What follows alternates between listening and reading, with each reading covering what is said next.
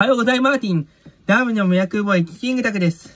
今日で放送回数は381回目を樹立してます。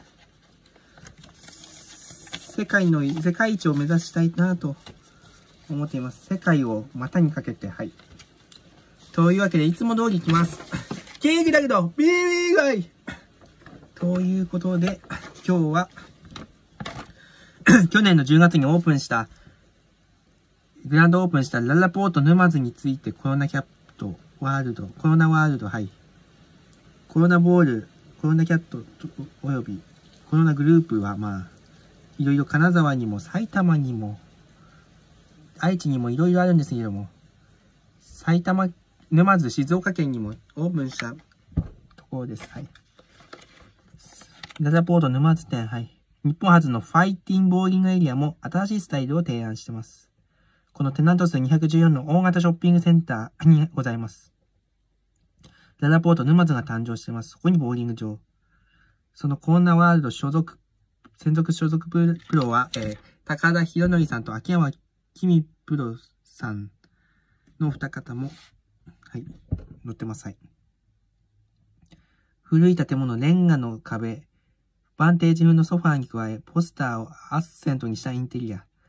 コロナボールに足を踏み入れると、そこには多くのアーティストさんが居住するニューヨーク、ブルックリンの街並み。天井もウッド調で、センター全体にも温かみが広がっています。BW 社の26連打が、エリアは大きく3つに分けられているんです。まずは、ボーラーズベンチを感染型に施したエリア全4連。ゲームの臨場感が味わえるため、コンペで盛り上がることを必死で、すでに開催されたプロチャレンジでも好評を得たというんです。そして、ヴィンテージ調のソファーが設置してある一般エリア。ここはおしゃれです。洗礼された中にもくつろげる雰囲気があるんです。最後はファイティンボーウィングエリア全4連です。日本で初めてアクアチタンを浸透したソファー、床枠さにファイティング技術を施したハウスボールを設置。